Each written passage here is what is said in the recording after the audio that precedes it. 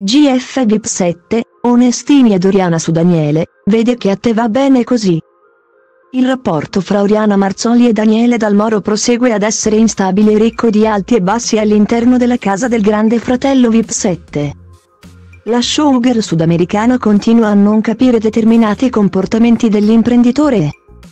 Infastidita, ha deciso di parlarne con Luca Onestini. Oriana è apparsa particolarmente amareggiata e ha sottolineato che il coinquilino le ha confessato di considerare gli abbracci di Nikita Pellizzon maggiormente sinceri e sentiti rispetto ai suoi. Ma non è finita qui perché Marzoli ha confidato di essersi sentita stranita anche in seguito al passaggio dell'aereo.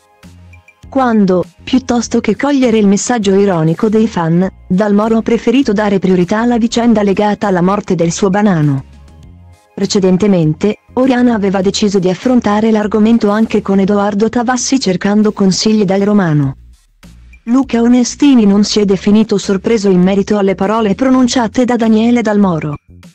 L'ex tronista di Uomini e Donne, piuttosto, si è detto stupito dagli atteggiamenti di Oriana Marzoli perché pur continuando a ribadire di non gradire il modo di fare dell'imprenditore, Continua a cercarlo con l'intento di mantenere la relazione con lui, si vede che a te va bene così.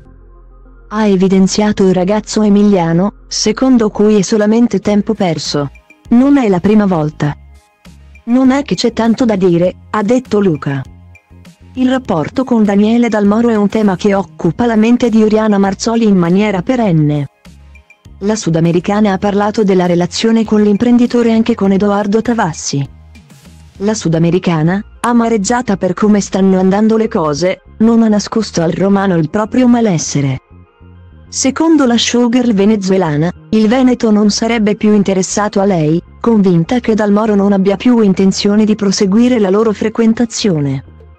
Il 38enne non si è definito d'accordo con Marzoli e ha tentato di farle valutare la vicenda sotto un altro aspetto. Inoltre, il fratello di Gwendalina ha provato a spiegare ad Oriano che nonostante Daniele provi una forte attrazione nei suoi riguardi, prosegue ad essere particolarmente frenato solamente a causa di quanto successo fra di loro nel passato. Edoardo ha sottolineato con convinzione che Dalmoro non riesce ancora a fidarsi. Secondo il romano, per evitare di precludersi una bella conoscenza con l'imprenditore, Marzoli non dovrebbe scoraggiarsi e comprendere la verità solo alla fine di questa esperienza fuori dalla casa del grande fratello VIP 7.